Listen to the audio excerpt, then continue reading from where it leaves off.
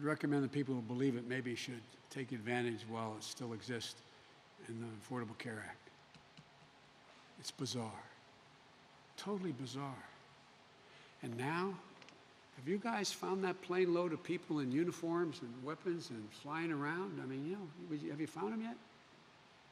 Is anybody even from, by the way, I respect conservative and liberal points of view in the press. Anybody found that plane? What in God's name are we doing?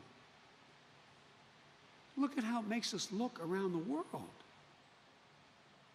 It's mortifying, it's embarrassing, and it's dangerous.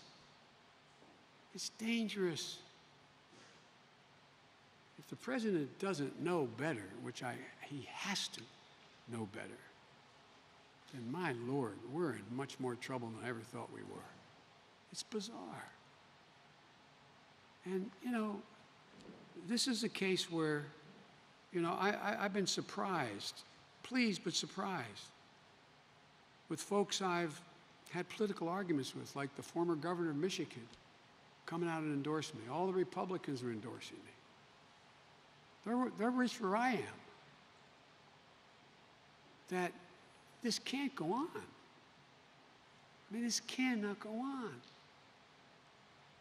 It's a deconstruction of a democratic system. They know it. So I, just, um,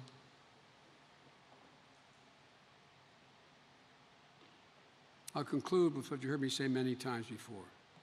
The words of a president matter, even a lousy president. It gives succor, it gives encouragement to people who are spouting irrational views that no one has even close to ever presuming or showing ever existed. And it's done for a simple reason. From the very beginning, he's understood the only way he could win the first time and can win this time is he fundamentally divides the nation, puts the nation, divides us so at each other's throats. That's not who we are. That's not who we are.